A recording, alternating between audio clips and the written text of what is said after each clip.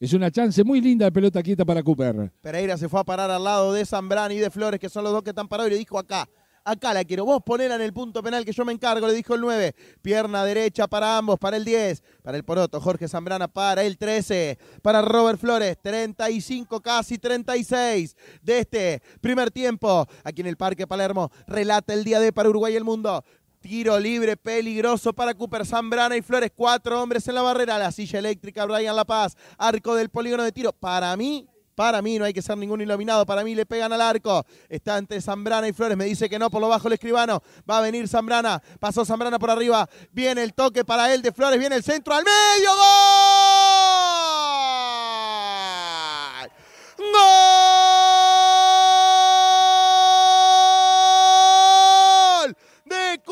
Santiago Cunia del laboratorio de Gonzalo Huasco. ¡Golazo!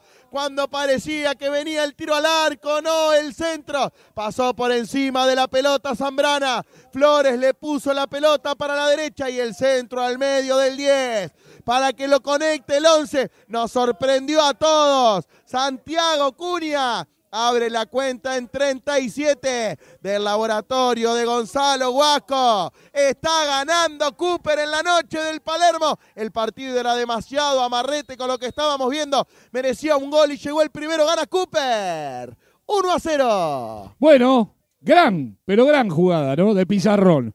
Fue el Poroto que lo cocinó, ¿eh? Ahí a medio fuego. Eh, a Flores no se le cayó ningún y pétalo. Ahora se equivocaron, viene Zambrano por el segundo. ¡Ay, el gol que se perdió Zambrano! Increíble. Increíble. En la salida, cuando sacó del medio, la dejó corta Terra. En el pase para La Paz, que estaba además ubicado fuera del arco para esperar el pase de su compañero. Definió Zambrana con pierna izquierda. La pelota pasó besando el caño. No dan respiro, casi el segundo. Discúlpeme, Avellaneda. Me decía que el Poroto estaba cocinando en esa jugada, ¿verdad? A Flores no se le cayó ningún pétalo y Cuña la metió en el zócalo, donde tenía que meterla en una jugada de todo el pizarrón del equipo de Cooper, que está ganando 1 a 0 en forma justificada y casi, casi, mirá, en medio minuto, casi el segundo lo pide Zambrana. En 37, Escribano gana el verde de Carrasco 1 a 0. Vio cómo no pateaban al arco de una, ¿no? Eh, pero yo, voy a ser sincero, pensé que la mandaban al centro de primera. Nunca me imaginé la jugada ensayada. Tremendo pase Robert Flores, lo habilitó a Zambrana por derecha y entró oportunista Cuña para marcar. Y ahora casi, casi liquida el partido Cooper con ese